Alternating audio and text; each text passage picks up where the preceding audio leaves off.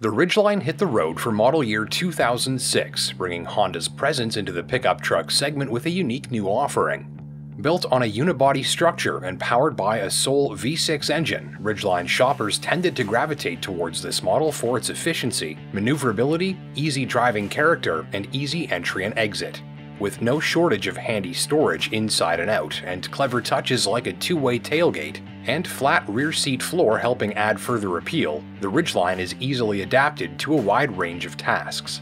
On flexibility, storage, and versatility, this is a hard truck to beat. First generation units were available from model years 2006 to 2014 inclusive, with a proven 3.5 liter V6 engine, automatic transmission, and intelligent four wheel drive with a push button locking function for added traction when required. Now, let me set you up with 5 tips to help you find the best used Honda Ridgeline that you can for the dollar. Tip number 1 Rust. At this writing, some Ridgelines from this generation have now been on the road for 16 years. Some owners have reported rust related issues, and some shoppers have reported difficulty in finding older, rust free, or low rust units. Others have not. If you're considering an earlier used Honda Ridgeline, be sure to carefully check areas like the door seams, rocker panels, and unibody structure beneath for signs of excessive corrosion. A proper underbody rust inspection requires professional assistance in the form of a pre-purchase inspection, or PPI, on a technician's hoist. Remember that rust can be very sneaky. Seek out a used Ridgeline that's been regularly oil sprayed or Krowned for maximum peace of mind, especially if shopping for a unit from a northern locale. During ownership, continued applications can help extend the life of the Ridgeline as well as its resale value.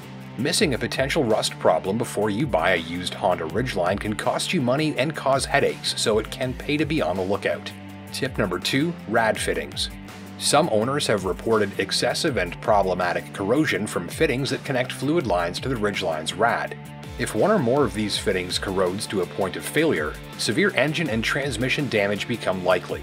Some owners choose to have rusty rad fittings replaced preemptively to prevent problems down the line, others do not. For maximum peace of mind, approach any used Honda Ridgeline assuming that its rad fittings are in poor shape and might be about to cost you a major repair bill until you have a professional assessment that indicates otherwise. Tip number 3 Rear Seating Levers. On your test drive of the Honda Ridgeline you're considering, spend some time doing a test in the rear seating area. Start by flipping the seat bottoms into their upright position and note the operation of the metal support bar beneath each seat bottom. As the bottom is lifted, that support bar should retract automatically to a flush position. If that's not the case, the pulley system within the seat is likely broken, though some owners report that it can be fixed easily. Tip number 4 Water leaks.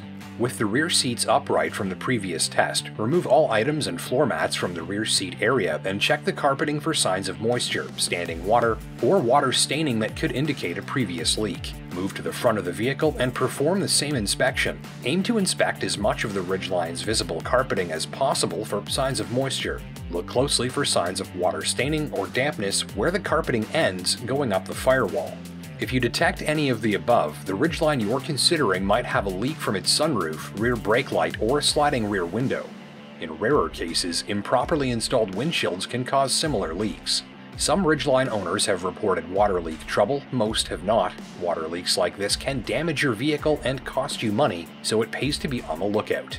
Tip number 5 Higher mileage units. If you're considering a higher mileage Ridgeline from this generation, familiarizing yourself with its maintenance requirements can save you money and headaches. The Ridgeline's engine timing belt requires occasional replacement, and during the procedure, the water pump may need to be inspected and replaced as well. Before you buy, you'll want to know if and when this servicing was last completed, and whether or not the service is coming due again soon. Ridgeline timing belt servicing intervals are about every 100,000 kilometers, but check the owner's manual in the specific unit that you're considering for the full scoop. An engine's timing belt is a part that's changed preemptively before it fails. Skipping or stretching this important maintenance can stop your road trip dead in its tracks, result in catastrophic engine failure, and cost you thousands of dollars. These tips are designed to help test driving shoppers more easily identify possible trouble areas reported by some owners. An attentive test drive and shopping process that focuses on the areas that we just mentioned can help you find a first class example of a second hand Honda Ridgeline. Hit that like button down below if you learned something new. My name's Justin Pritchard, and until next time, take care and drive safe.